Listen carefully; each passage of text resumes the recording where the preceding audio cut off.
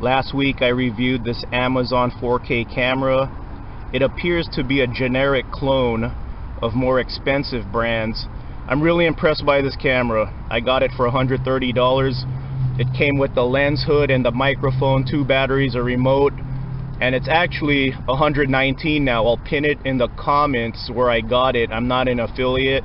I just want you guys to get a good camera and there's so many on Amazon so I want you guys to get the right one.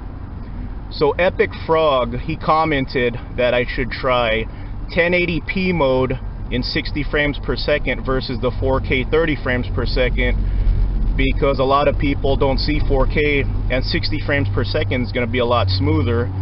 So that's what I'm going to do right now. Okay, I'm filming this with the Kodak Pix Pro $62 camera you could find it at any Walmart. This is just acceptable quality to me.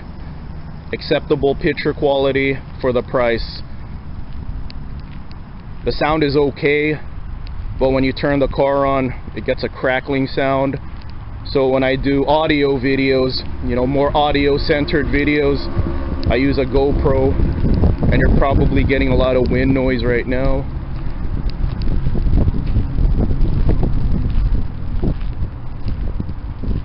So when I reviewed my 4K camera last week and reviewed the footage, I was most impressed by what the surroundings look like. Like the car looked the car looks good on this camera but when you look at the surrounding areas this camera is kind of blurry the Amazon 4K camera I was really impressed by how much nicer the trees looked and how much sharper surrounding surrounding uh, area look like versus this Kodak Pix Pro. The car looks okay but the surrounding footage when you really pay attention is kind of blurry.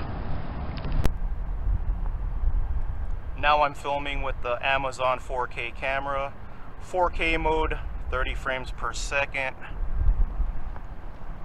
If you're just stopping by my channel for a camera review my channel is an automotive channel so I feature my vehicles I'm really happy with this camera because now I get to feature my videos with higher video quality this is a 2015 Fiat 500 Abarth. It's the special edition Fiat 500.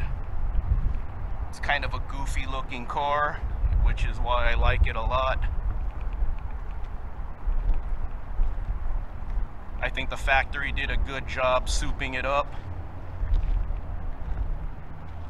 Souping up the standard Fiat 500.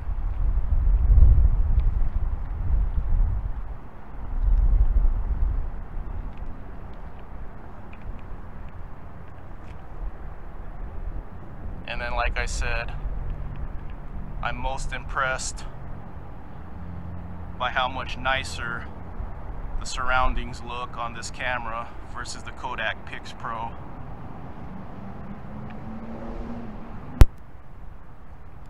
This is 1080p mode, 60 frames per second.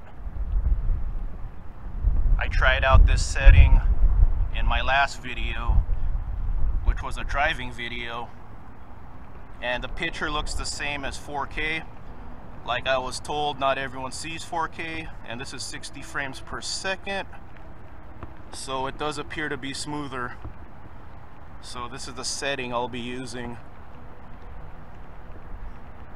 Like I said I'm a car enthusiast so as a car enthusiast I have multiple cars. I would like to own five cars one day. This is what you call a daily driver. Fun, manual transmission, great on fuel. I only drive to work 10 miles a day, so I don't need a gigantic vehicle driving to work. It's a little vehicle that looks cool. It has scorpion badges everywhere. Nice chrome accent. Nice chrome accents everywhere. Scorpion, Scorpion, Scorpion on every rim, and one more on the back. And then you got one on the steering wheel. Like I said, it's a goofy styled car, and that's why I like it. Abarth on the side, and then you got little, uh, it, got, it has a stripe, then it breaks up, and then the little, the bars get smaller and smaller, so cool little details on this car. I wanted one of these things because it seems like the designers didn't take themselves too seriously and wanted to create a fun little car.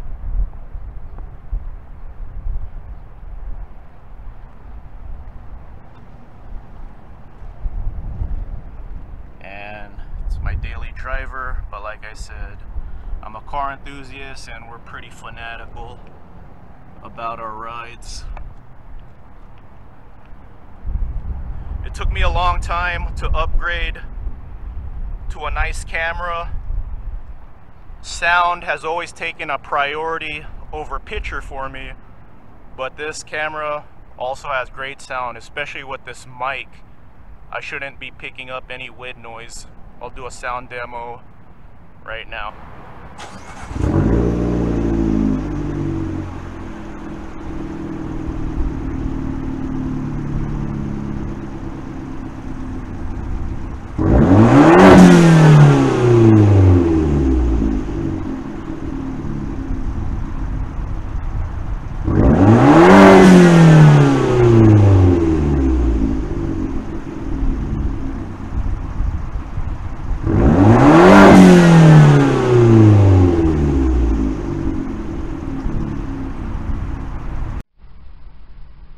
Picked up a few new subscribers due to my review of this camera I did last week.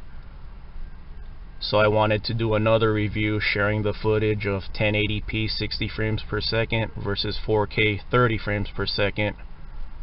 I hope that helps you guys out in your decision to get this camera. I really like it a lot.